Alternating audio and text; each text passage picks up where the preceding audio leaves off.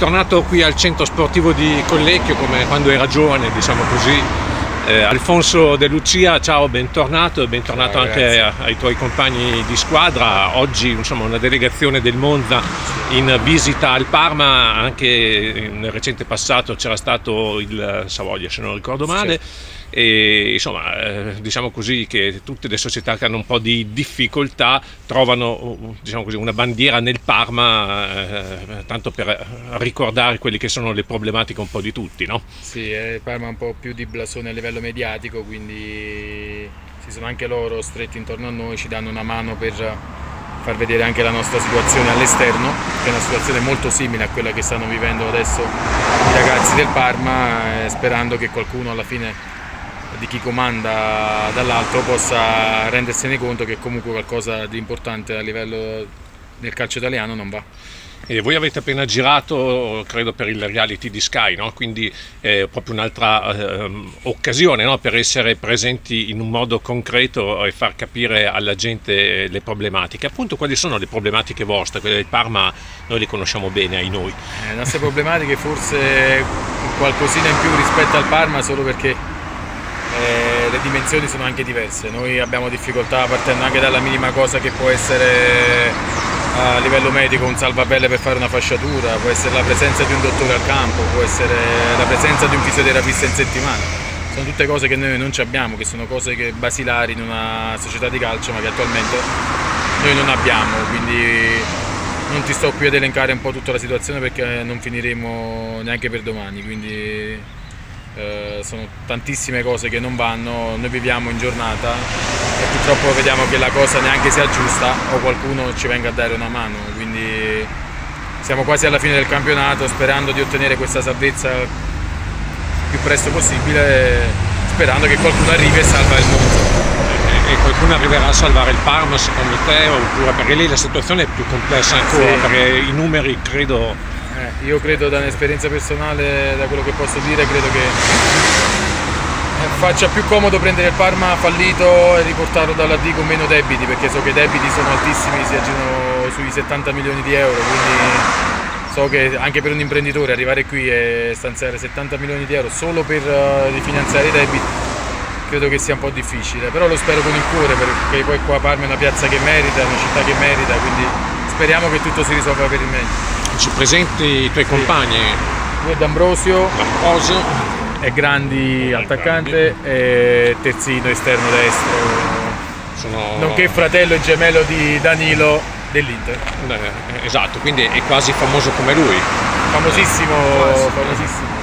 Eh, voi come state vivendo insomma, la vostra esperienza? Beh, ha detto quasi tutto comunque eh. Alfonso. Noi siamo arrivati nel mercato di gennaio, al mercato di riparazione, sapevamo benissimamente qual era la società eh.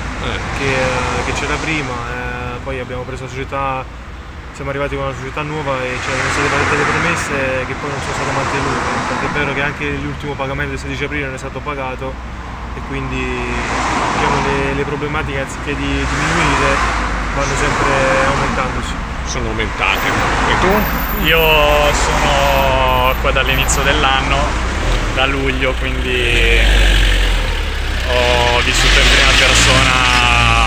tutte le problematiche dall'inizio, eh, con il primo passaggio di proprietà eh, e poi successivamente il passaggio a quella che è la proprietà attuale. I problemi erano iniziati già subito dopo l'estate, eh, dopo la scadenza del, del pagamento degli stipendi, dopo la prima scadenza le cose sono andate ad aggravarsi. Avete parlato con Lucarelli, immagino, no? con Lucarelli, Gobi, che sono poi i sindacalisti, diciamo così, del Parma e che di conseguenza sono i sindacalisti anche vostri, certo. giusto? Que... Sì, hanno esposto quali erano i loro problemi, anche se i loro problemi sono comunque più uh, sotto osservazione rispetto ai nostri, perché un livello mediatico diverso rispetto a quello che è il nostro. Noi abbiamo approfittato diciamo, della loro uh, situazione per far, per far fronte, per far vedere quali, erano, quali sono i nostri. Alfonso, poi però io ti devo tirare un po' le orecchie perché insomma tu eri indirizzato verso una bella carriera, poi insomma sei andato a combinare dei guai come tuo solito, cioè dovevi evitarlo. Cioè...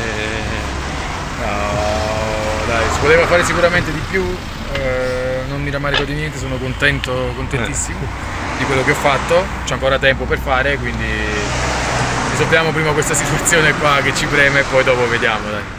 Eh, per quanto riguarda il Parma, qualche ricordo di allora? No, eh, erano bei tempi, c'ero anche Certo. io. eh. Ho rivisto Eh. anche tanta gente che lavorava all'epoca che c'ero io e ancora qua mi ha fatto molto piacere rivivere questi posti, poi sono stati dieci anni, quindi fa sempre una certa emozione. È un peccato vederli adesso così, nel senso che senza una proprietà e senza niente, però spero con il cuore che anche loro possano trovare un proprietario e tutto torni alla normalità. Eh, Ecco proprio l'ultimissima cosa, ehm, tu eri un prodotto appunto del settore giovanile del Parma, eh, è vero erano altri tempi, però anche l'attuale settore giovanile ha sfornato di prodotti interessanti tipo Mauri, tipo Cerri, tanto per dire. Ricordiamo che eh, insomma, se il Parma dovesse sparire, visto che c'è tutta questa voglia di Serie D come Domodossola in giro e pochi si danno da fare per la Serie B come Bologna, diciamo così.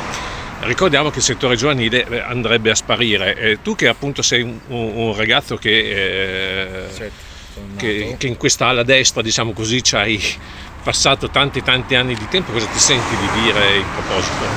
Eh, Io penso che questa sia la cosa ancora più brutta, nel senso i ragazzi che poi si trovano senza una squadra, se casomai dovesse la società fallire e ripartire dalla D, quindi si libererebbero. Io l'unica cosa che mi sento di dire è comunque di continuare nel loro sogno, perché se non è qua che non gli hanno dato l'opportunità per colpa di qualcuno, ci sono tanti altri posti dove ancora si fa calcio e dove loro possono crescere e collare il loro sogno, ecco, di non mollare mai e continuare così.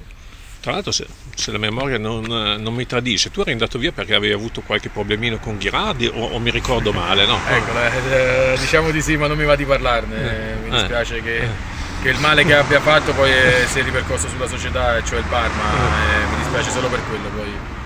Cioè lui sicuramente se la sta spassando bene, ha lasciato un po' tutti qua così. E, e quella è l'unica cosa che mi dispiace, che almeno se se la passa male il Parma, se la passa male anche lui. Ma so che non è così, eh, però questo è l'Italia. per il momento.